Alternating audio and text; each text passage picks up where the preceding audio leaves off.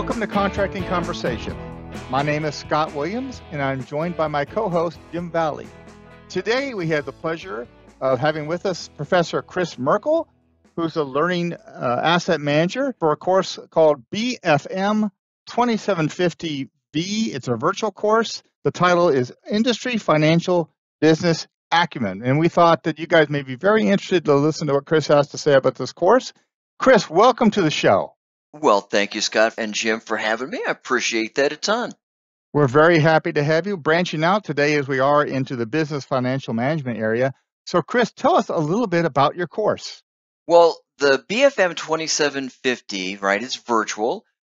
It's a three day course, right, virtually. We normally do six hours a day. So, just give you kind of a sense of how long.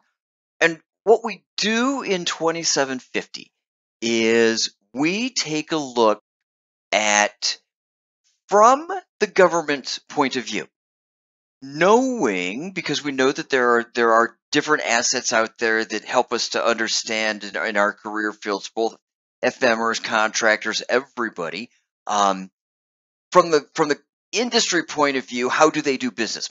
So what 2750 does is kind of takes that knowledge that starting point and kind of turns it on its head and says, okay, we know how industry, you know, deals with things, what's their priorities, what they're looking at.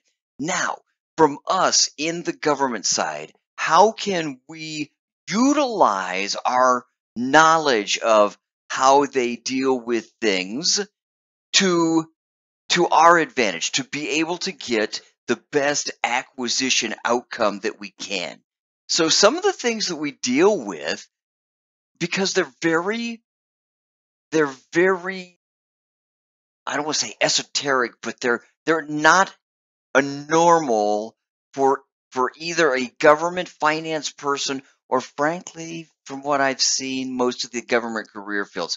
We look at things like different business entities, kinds of businesses, right? So are they sole proprietorships? Are they S corps, C corps? Are they partnerships? Are there joint ventures? And how does that impact a government program? We look at a company's financial condition, right, which is how are they doing? We look at their at their historical, at their at their SEC filings, right, their income statements or balance sheets. How are they currently doing? That's their financial condition. But we use that then to take the next step, which is to look at their financial capability, which is okay, I'm on the government side. I have a contract that I expect to have a period of performance, let's say three years. What what's the possibility that this potential offerer will wind up not being in business in three years? And that's what financial capability looks at is what's the risk that maybe this company isn't going to be around? And unfortunately, in our current economic condition, particularly small to mid-sized companies, we're at an almost all-time high for bankruptcies, which which impacts Department of Defense. Other things we look at, you know, we look at we look at contract families, right? What do we get from them? But more than that, we look at the the estimated prices at complete. Because from an FM standpoint, there is a, a real concern there that makes sure that we have in place the amount of funds that are going to be required. We talk about um, time value of money. We talk about um, the benefits that accrues to industry, our industry partners, from the way that the government pays. You know, we pay in a timely fashion right? And there's there is a benefit to that from the industry perspective. So knowing that we go, okay, from the government perspective, how can we utilize that piece of information to be able to get the best, negotiate the best deal we can? Then we look at rates because um, the indirect rates are such a huge part of the total cost that government programs pay to the contractor. And so we, we look at how those rates are developed. We look at, you know, the, some of the questions are, you know, what's an offsite rate? Just what is it? How is it developed? Why why is it potentially a good thing for the government? You know, we explore the whole question that says, is there such a thing as a normal, and I'm using my fingers in air quotes, is there a normal indirect rate based on either an industry or a geographic location? And we explore those kinds of things. We look at distortions. How in the world is it that based on what a contractor chooses to use for their bases uh, for their rates, how can that actually wind up costing the U.S. government and particularly Department of Defense more money than we would have if the company had chosen a different base? And then finally, we take a look at because even of the rates, we have to be very, very cognizant that the pools, right, the inexp- the the the costs, right, in those pools, those indirect costs are important, absolutely. But what really drives rates is the basis, is the business that the companies use when they build those rates, right? If that base goes up, the rates that we, the government, pay go down. If those bases go down, the rates that we pay as the government go up. And so there's all kinds of dynamics there based on contract type and how do we know, you know, we're we're midway through a year. How do I know that the contractor just got some kind of a giant contract that we didn't know, right? My program didn't know they were going to get. And what could be the potential implications cost wise to my contract? At what point in time do I go back to the contractor and go, "Hey, wait a minute. You guys you guys got this great big contract. The rates I'm paying should be going down. Let's talk." So those are just some of the kinds of things that we that we explore a little more in depth in BFM 2750. Hey, great, Chris. Uh, thanks. It was that's pretty sounds like a pretty interesting course, um, and thank you for running through it. Absolutely, my pleasure. I, I would argue not only I think it's interesting, right, because I have experienced both working government acquisition, but also I have experience in the industry side. And I will tell you is not only is it interesting, but you'd be fascinated the that knowing knowing some of this information, how it can really, really benefit a government program uh, to be able to know some of the, think of it kind of the, the behind the scenes of what's going on with some of these topics. All right. Hey, Chris, this is awesome. The reason why we brought you on, because, you know, this is BFM, this is not a concourse, is we're wanted people to see other areas, other functionals where, hey, maybe a good idea for contracting professionals to take something like this because I think it would very much benefit them in responsibility determinations, also know what the health of their company is and see if there's any issues. And so, what I want to hear uh, from you is what your thoughts are on that and in the, in the target audience and how contracting would benefit from your standpoint. Sure. Well, okay. So let's look at two of the topic areas that we cover, right? So some of the topic areas, you know, my your contracting professionals are going to go, well, we already know contract types. Agreed, right? But do you really understand what, from a financial perspective, we as government finance professionals are allowed to budget for, right? And so that's kind of interesting. But you make a great point, Jim, in this whole idea of financial responsibility. So one of the things that we do in um, 2750 is we teach the students how to use what is called multi-discriminant analysis, MDA.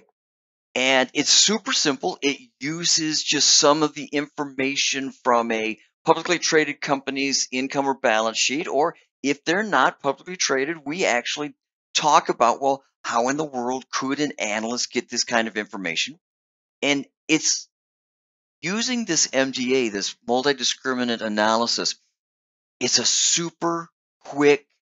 What do we think the chances are of this company going bankrupt? And it's one of the things that DCMA, the financial uh, responsibility folks, would look at, but I don't know why they have gotten away from it. And the other drawback is so often what happens is when we're doing financial responsibility looks, we're looking at a very short term, right? Oh, will they be around? Do they have enough cash flow to be around in a year? Do they, you know, I'm not really worried about that. My bigger concern from my government program is are they are they going to be around in the 3 to 5 years that this contract is going to be around? If it's a bigger contract, right, with multiple years, we're going to be buying this whatever it is for 10, 12 years, right? Now it becomes even more important. The other one is that I would I would argue that understanding the base implications is super important for particularly contracting folks to understand, right? When we're when we're doing negoti- price negotiations on a contract, because those rates are so important.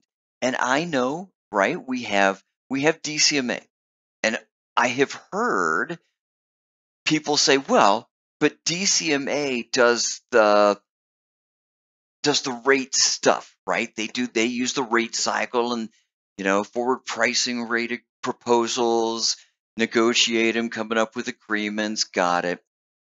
But here becomes the question. How many people have no kidding gone back to the, the DCMA DACOs and actually asked them going, hey, so just out of curiosity, have you done any analysis on how much fixed versus variable cost is in the pool? My hope is to go, oh, no, no, we're, we're all over it. But my fear is that that DACO CACO is going to come back and go, why? And you're going to find out in 2750 that because the the proportion of fixed cost in the pool for an indirect rate can have significant, I'm going to say huge, because it really truly is huge, impact on what happens to the rates, right? We talked, you know, even here that, oh, the base goes down, so that means that the rate is going up. Yes, but if in the pool there are more fixed costs, yes, the rate's going to go up, and it's going to go up huge. It's going to go up significantly. Now, if I'm if I'm a contracting person, you know, right? If I'm an FMer, isn't this something that I would like to be ahead of as opposed to being surprised by after it happens? So that's that's why I would argue that there is a lot of of really good information that my contracting brethren could take away from this class. And so, thank you, Chris. So, I would assume that by taking this course, they are able to absorb what their financial person is telling them, right? Because they can then understand okay, these are the type of documents. I can then have a conversation with my financial functional expert and be able to understand what they're saying and also be able to ask the, the right questions. Wouldn't you say? I think, Jim, that that's key right there right? It's all about conversations. Now, the question becomes is it conversations with um, my financial, right, with my, my business finance management people in my program? Is it is it conversations with my industry partners? And this class is designed to fill anybody with the background and the knowledge to be able to ask better questions. And if we can ask better questions, what that means is we can get to a to a better understanding of the situation that, that's that's at hand, whether that be with our finance folks inside the program or even with our industry partners. Yeah, that's outstanding. Thanks, Chris. Hey, Chris, I just have a, a quick follow up uh, before we wrap up today. But uh, I understand that ACQ 315 is a prerequisite for your class. So we'll just hit that really quickly. And as Jim addressed, uh, your course I think would be a great one for contracting people. But let's just talk a little bit about the prerequisite and also just how they're assessed in BFM 2750. Okay, so the prereq, the ACQ 315, right? What that course does is it puts the student, it, it's like, yeah, you just got hired by this, this industry company, right? So you're in what we call the C suite, the corporate suites, making the, the decisions. And that course gives the student the opportunity to view how industry companies make decisions, right? How do they decide, yes, we're going to bid on this contract or this, this opportunity.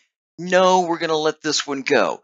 How do they decide, well, we really need to have a return on investment of you fill in blank here, right? And so what what 315 does is it it puts the student in in the company to show them how how companies make those those kinds of decisions. And then what we do in 2750 is we go, okay, super. Now that you know how the company does that, now let's let's go and take a little deeper look from the from the government program office side. How can we utilize that information? Yeah, absolutely. Thanks, Chris. All right, thanks, Chris. So we're going to close the show, but before we do that, is there anything else you want to add? Yeah, as a matter of fact, okay. Something that everybody, regardless of career field, needs to understand is that within Department of Defense, business acumen is rapidly becoming like this new buzzword, buzz, you know, this this new phrase. And so there is a big push, regardless of your your career field, to get what what we're calling business acumen. Now we haven't really decided what in the world that is because that could be a very broad term. But I would argue that at its core, understanding the industry, how they make their decisions, and whether we like it or not, when we talk industry, it's all about money, right? It's about making a making a profit, a fair profit, but that's what we on the government side need to understand is their driver and their motivator. So once we learn that, um, it will help us. But every career field is going to have to learn that. And I think that cross, I'll call it cross pollination, if you will, between career fields just makes sense. Knowing the more we know, the better we can help our programs do at making good acquisition outcomes. All right, outstanding, Chris. So thank you so much for coming onto the show today. Oh, I've loved this. Thank you so much for having me. Yeah, we are glad to have you. So, for all of you out there, this is the end of our podcast. Hopefully, we'll have Chris back again on another podcast. For those of you out there, you can see contracting conversations in several different locations. One is DAU Media, which you may be on right now, but also Apple Podcasts and YouTube. So please go into those sites, subscribe to them, and also like the video if you do like it. That does help the algorithms out there. And we look forward to having future contracting conversations with you.